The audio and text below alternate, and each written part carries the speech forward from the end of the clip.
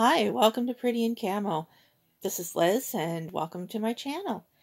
If you're new or haven't subscribed, press the subscribe button and the little bell button so that you will know when I upload new videos.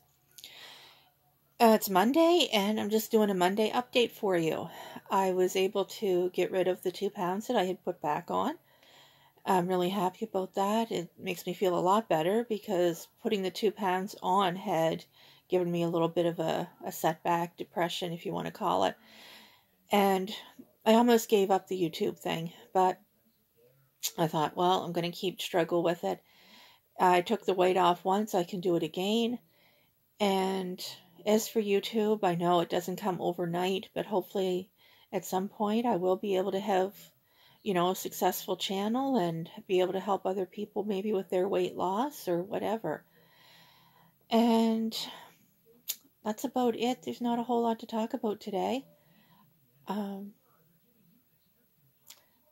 as for supper, we just had uh, macaroni and tomatoes that I had in the freezer from another night that we didn't eat it all, and I had some pre-made meatballs that I, I threw in the oven with it and just simple supper and that's it.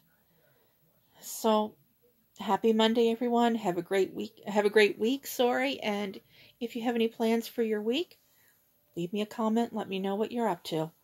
I'll talk to you later. Thanks for watching.